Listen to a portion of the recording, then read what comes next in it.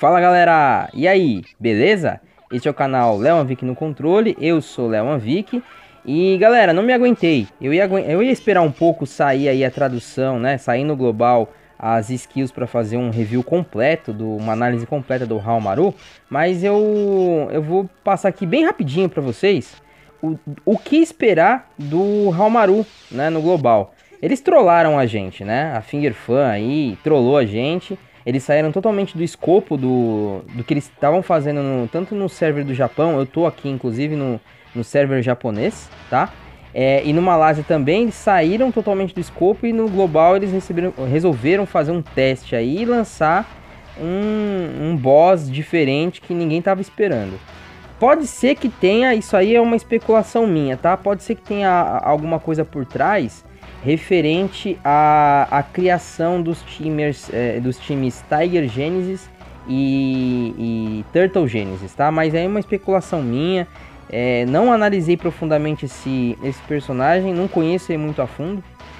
É, bom, é, então a primeira parte do vídeo é essa. Eu quero falar para vocês que, o que esperar do Maru. Antes de eu falar, gente, é, se inscreva no canal, tá? Deixa o like maroto aí para continuar apoiando a gente.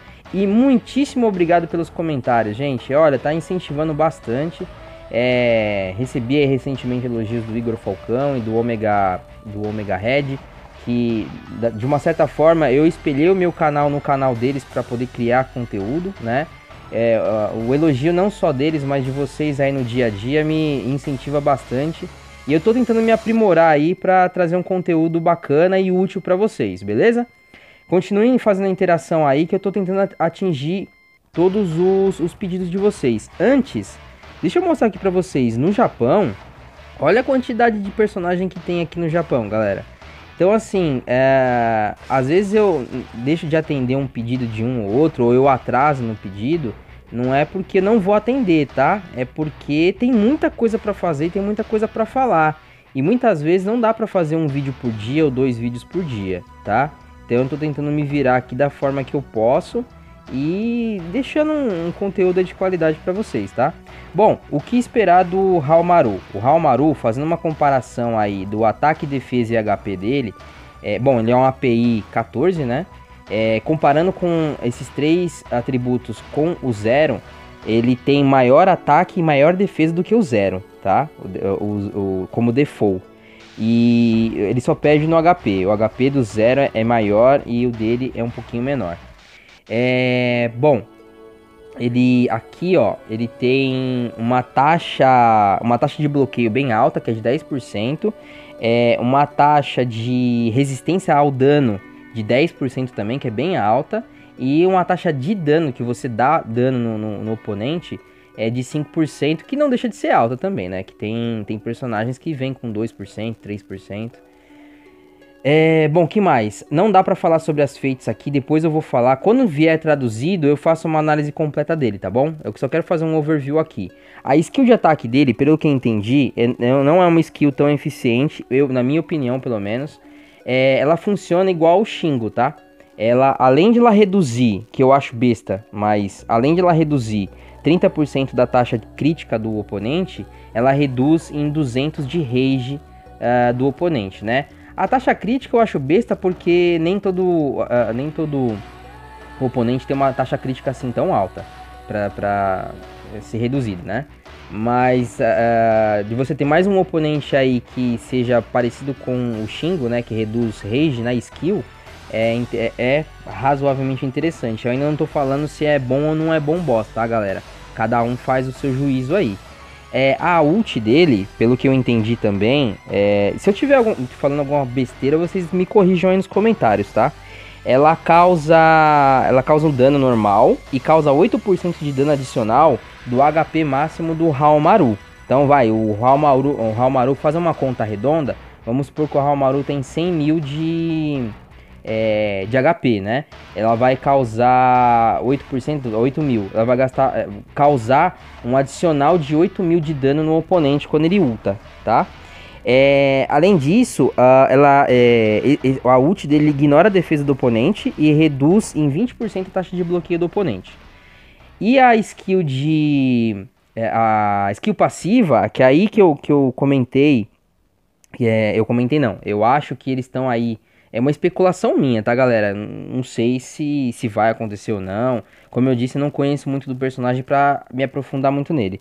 Ela, a, além de aumentar a taxa de resistência e taxa de bloqueio, ela, se você tiver 3 ou mais Tiger no time, ela vai aumentar em 10% a, a resistência ao dano por dois, dois turnos. E se você tiver três ou mais Turtle no time, vai aumentar em é, o damage por dois rounds também.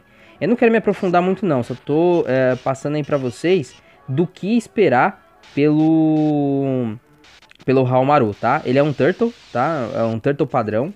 É, é igual o Turtle do, do Omega Rugal, se eu não me engano. É, não sei se é também. Mas é isso aí. Depois eu vou trazer para vocês aí um review completo assim que sair o card dele traduzido. Eu vou trazer um review completo aí pra, pra que vocês tomem a decisão.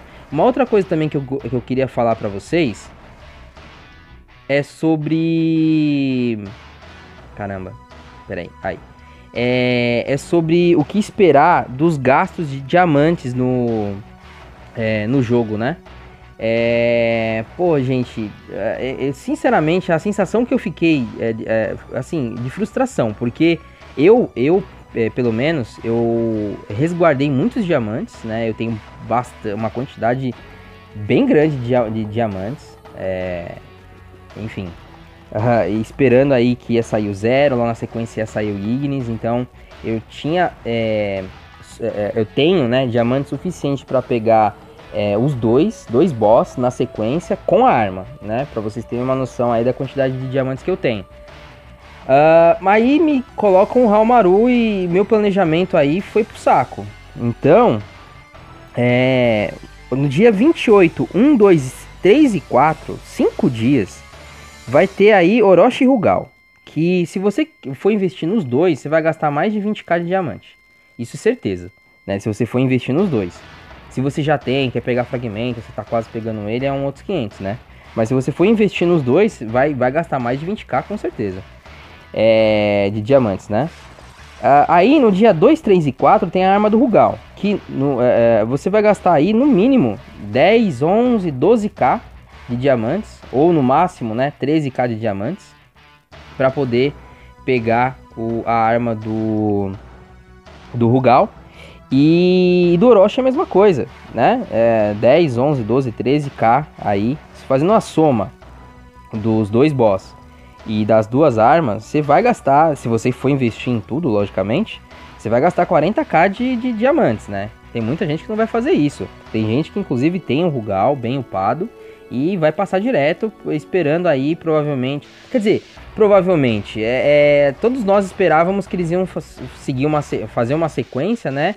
E daqui uns 3, 4 meses, mais ou menos no meio do ano, ia vir um Omega Rugal. Agora eu já não sei mais nada. Depois dessa daí, eu me. Assim, tô perdido no jogo, né? Onde que eu tô? Eu tô tipo aquele meme do, do John Travolta naquele filme lá que é famoso pra caramba. Então não sei, sinceramente não sei o que esperar. E. É, ah, e tem também a arma do Kionestes no mês. Então, se você fizer uma soma aí de tudo que você tem para gastar de diamantes no mês, vai dar mais de 50k, né? É, quem, quem, por exemplo, quem não pegou a arma do Kionestes, eu aconselharia pegar a arma do Kionestes. Quem tem o Rugal, é, eu aconselharia pegar a arma do, do Rugal. Orochi, não sei. Aí fica a critério de cada um. Eu não pegaria, né? É, o Orochi eu acho que foi o primeiro boss que saiu no game. Eu sinceramente não sei se vale a, a essa altura do campeonato, eu não sei se vale a pena é, upar, né, e ter o Orochi no time. Ele, o Orochi com arma, ele é muito bom, né? Ele realmente era muito bom. Se eu tivesse ele no meu time, eu, eu uparia e colocaria no meu time. Mas, não sei. Não sei se vale investimento. Então, assim, a, a, além do boss, né? E além da, da Oni Armit Band que ficou pro dia 9, então a gente vai ter que esperar mais 10 dias aí até chegar a, a roleta. É. Porra, sacanagem, né? Mas, assim, tem muita coisa para você gastar diamante no mês. Não faz muito sentido eles colocarem um boss que não é tão importante e colocarem um monte de coisa. A, a, talvez até pra dar uma balanceada aí, né? Porque eles, como eles colocaram um monte de arma no meio do mês, é, eles não iam colocar um boss também importante no meio do mês para você ter que é, gastar diamante, aí todo mundo ia ficar que nem barata tonta, né? Não, sa não sabendo para onde, pra onde atirar. Bom, galera, era isso que eu queria falar. É, é um vídeo meio que de desabafo, né? Eu tô, como eu disse no vídeo anterior dos eventos, eu tô putaço. porque, mano, eu tava esperando muito, eu tô caindo muito na arena, porque eu tava esperando vir aí na sequência Zero Ignis e Crisálide. E me lasquei, viu? Puta, tomei na, na tarraqueta. Mas faz parte, é isso aí. Quem tá lá na frente, ótimo para quem tá lá na frente, né? Porque vai conseguir se sustentar é, é, é, por mais tempo lá na, nas primeiras posições, né? Não vai ter tantos membros que, que não estão tão fortes é, pentelhando eles lá. É, e vai dar mais tempo para eles também, eles que, é, eles que fizeram os investimentos na, na, no Crazy, Ori e na Orochi Leona, e no próprio Kionestes, que é o meu caso, que eu fiz investimento recente aí, é, vai ter tempo de se recuperar, né? De juntar pelo menos aí mais um pouco de diamantes. Quem não quiser pegar o Romaru é, vai ficar mais um mês inteiro acumulando diamantes, né? E vai investir nas armas.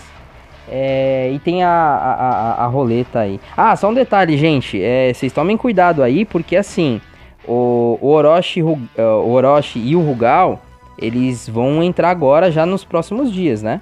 É, aliás, amanhã, né? E a arma a part... depois de amanhã. Ou sexta, não sei. É, e a roleta só vem no dia 9, né? No, no, dia 9 às 5 da manhã ela abre. 5 da manhã lá, é 7 da manhã aqui. Então, vocês não vão. Se vocês gastarem os seus diamantes agora, vocês não vão conseguir pegar aí os bônus de roleta, beleza? Era isso que eu queria falar. É, agradeço muito de novo aí pelos comentários. Dê um pulinho lá no, no, no, canal do Igor Falcão e do Omega Red também, que tem conteúdo foda de, de KOF, né? Ultimate Match Online aí. E obrigado pelo apoio de todos, tá? Se inscrevam no canal, deixa aquele like maroto aí pra continuar ajudando a gente no projeto. E até o próximo vídeo. Falou!